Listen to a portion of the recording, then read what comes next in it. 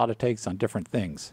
So once again, here's Steve Merlo, a gentleman that I was introduced to decades ago by a game warden. That is correct. And we also got together the first time, went out to the aqueduct, and first thing you saw was me helping an old fella pull a 35 pound striper out, if you remember Oh, correctly. yes, I do. That's uh, quite some time ago, and we've been uh, friends ever since. And Steve has been active in the outdoor world since a youth in Buttonwillow. But anyway, let's talk about this monster catch off of Huntington Beach.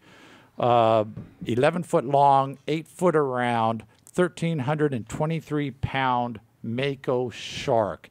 Uh, will be a world record if it's certified, of course, and they're going through the process now. But it's created a little controversy because there's a certain segment of uh, people who don't think you should be catching Mako sharks. What's your take on that? Well, you know, great white sharks have, you know, are known for gobbling up people left and right.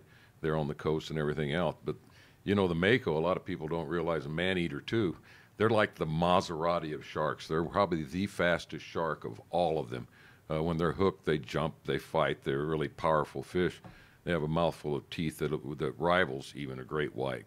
Um, they're normally found though long ways out in schools of tuna and, and stuff like that. That's what they feed primarily on. I hope that they caught that fish on a mustad hook. Right now, I think but Mustad is still offering their, if you break an all tackle world record using one of their hooks, that uh, you're going to get a million dollars. And I think it'd be kind of neat.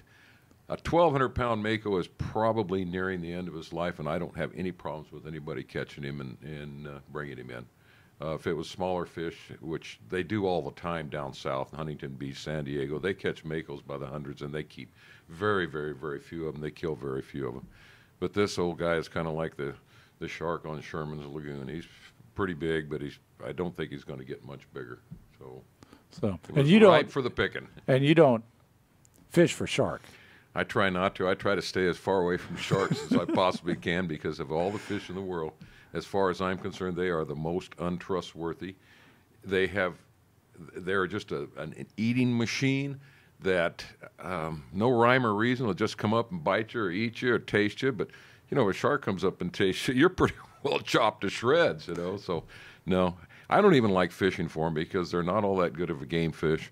Um, I've caught a lot of them in my life unintentionally, but you know, once in a while, I I don't mind hooking um, hooking one just for the fun of it. But we always turn them loose. There's no sense killing them.